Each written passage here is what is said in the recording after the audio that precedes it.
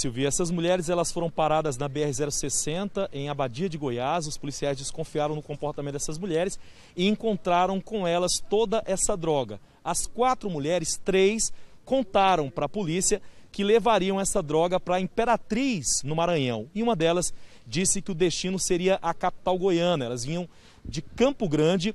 E essas mulheres, inclusive, estavam trazendo aí no corpo, elas têm entre 18 e 30 anos, várias drogas, rachixe, skunk, e essas embalagens estavam amarradas no corpo. Elas não quiseram falar para quem levariam essa droga, mas foram presas durante essa fiscalização. No todo, foi apreendida aí 8 quilos de entorpecentes sendo 6 de skunk e 2 de rachixe. Saíram do Mato Grosso do Sul com destino a Imperatriz do Maranhão, para onde levariam essa droga. Uma delas ficaria aqui na capital, trazendo todo esse entorpecente, Silvier.